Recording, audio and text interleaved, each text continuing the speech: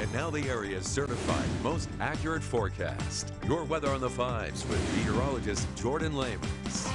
All right, welcome back. It's 545. Our sunshine just snuck behind the clouds in Manitowoc. Our Skyview network cameras, well, this is a live shot powered by Pella Windows and Doors of Wisconsin. 62 degrees along the lakeshore. Little breeze bumping around the the camera lens there, but certainly nothing uh, like what we had yesterday. It's not going to be a breezy day overall. We will see cooler temperatures with a north wind, though. Hour by hour forecast showing a mix of sun and clouds right into the afternoon. I think more sunshine favoring the second half of the day, and temperatures reaching about 74 today compared to the low 80s we saw out there yesterday. Now, yesterday was also a little humid. Today, not so much. Our dew point forecast is below 60 degrees. That line is 60, and as long as we stay below that yellow line right there, it'll feel pretty comfortable, and you can get those windows open and enjoy that nice northerly breeze today with cooler air out there. Radar Network well, no precipitation, a few patches of clouds, and Futurecast is picking that up. So it looks like it's going to be doing pretty well for us this afternoon. We have high confidence in the forecast saying that there's no rain expected for your Tuesday.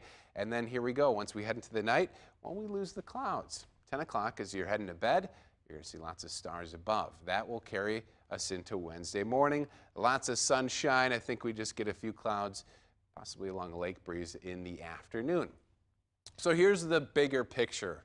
This was the cold front that yesterday brought us some early morning rain.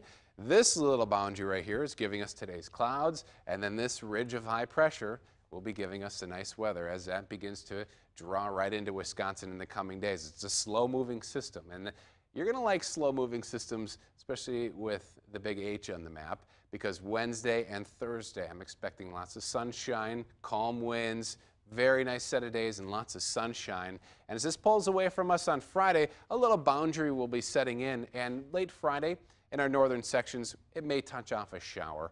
Uh, but overall, that will be our next slight rain chance. Temperature outlook looking like this 74 for today. Tomorrow, still in the 70s, 78. And then once we get on the backside of that ridge, that's when we start to warm up again.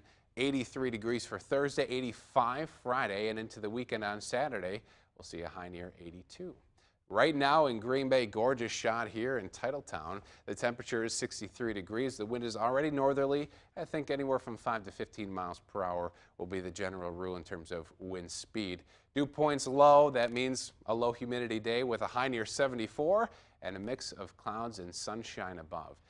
Now for tonight, clear and refreshing. Look at these overnight lows. We'll be dropping to 52 overnight.